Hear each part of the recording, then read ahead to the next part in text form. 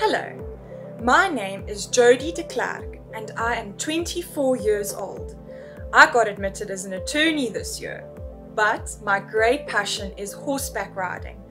I started riding when I was five years old for therapeutic reasons. Today I'm blessed to own a big, beautiful chestnut gelding horse. His coat is the same color as my hair, so we are totally red. His name is simply Red. I also love hiking and immersing myself in nature. Having recently summited Mount Kilimanjaro, what an inspirational and amazing journey. Seeing the sunrise in the snow on the summit.